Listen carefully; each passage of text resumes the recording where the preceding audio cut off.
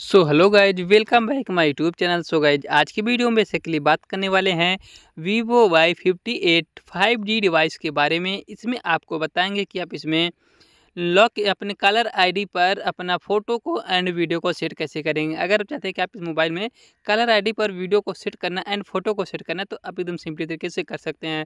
Colour ID का मतलब होता है कि अगर आपके मोबाइल पर जब किसी का कॉल आएगा तो वहाँ पर कलर आईडी के बैकग्राउंड पर आप जो फ़ोटो अगर सेट करेंगे तो फ़ोटो शो होगा एंड अगर वीडियो सेट किए रहेंगे तो जो वीडियो रहेगा वो म्यूज़िक के साथ वीडियो शो होगा। तो इसको आप कैसे सेट कर सकेंगे? चलिए इस वीडियो में बता देता हूँ।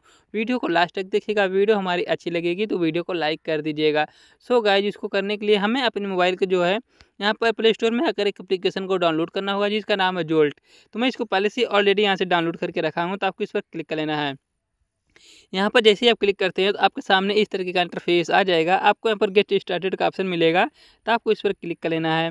यहाँ पर क्लिक करेंगे तो आपको यहाँ पर एज डिफ़ॉल्ट मिलेगा। आपको यहाँ पर क्लिक करके यहाँ से आपको डिफ़ॉल्ट कर लेना है जोल्ट पर। फिर यहाँ से सेट एज डिफ़ॉल्ट पर क्लिक कर लेना है। यहाँ पर होने के बाद आपके सामने इस तरह का इंटरफेस आ जाएगा।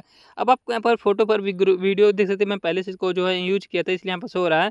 अब यहाँ पर दूसरा लगाना चाहेंगे तो आप यहाँ से बैकग्राउंड पर क्लिक करके बैकग्राउंड पर क्लिक करके आप अगर यहाँ पर जैसे कस्टम बैकग्राउंड मिलेगा अगर आप फ़ोटो को लगाना चाहेंगे इमेज को तो इमेज पर सेलेक्ट कर लीजिएगा अगर आप वीडियो को लगाना चाहेंगे तो वीडियो पर सेलेक्ट करके आप जो भी वीडियो लगाएँगे यहाँ से सेलेक्ट कर लीजिएगा। जैसे कि मुझे चलिए मैं आपको एक वीडियो दिखा देता हूँ कोई भी यहाँ से मैं मैं चलिए जैसे कि ये वाला वीडियो लगा लेता हूँ। यहाँ पर एक हुआ नहीं समझ आ रहा तो आपके सामने कि वो तुम्हें चाहती है या नहीं। कट वाले ऑप्शन पर क्लिक कर लेना है। अब देख सकते हैं मेरा जो वीडियो था यहाँ पर सेलेक्ट हो चुका है।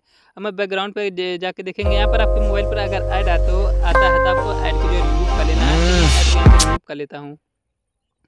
सो क्या यहाँ पर देखेंगे मेरे मोबाइल के लॉक स्क्रीन पर मतलब यहाँ पर कलर आईडी पर ये वाला वीडियो मैंने जो सेट किया था यहाँ पर सेट हो चुका है। देख सकते हैं ये वाला।